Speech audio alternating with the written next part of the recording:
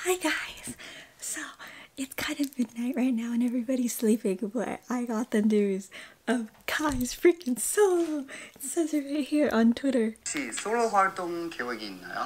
어 일단은 네 계획이 있고요. 이제 어 있어요? 네 많은 팬분들 He confirmed it! Oh my gosh, that is just crazy news isn't it? I just needed to make a post about it. This is just wow! Everybody's getting a solo this year. First Suho, then Sky, and then now, like, what? I just hope they all get a solo. Like, they all deserve it. Brain fart. Can I hear his dance solo studio version? Oh my gosh, we're getting Confession on the album? What? Think about it, this opens up a whole new world to the EXO community. Like, ah! I just wanted to share my excitement with you guys, and I hope you guys are just as excited as me. And I will be posting some more videos later on in the week, so just make sure for that. Guys, Solo 2020!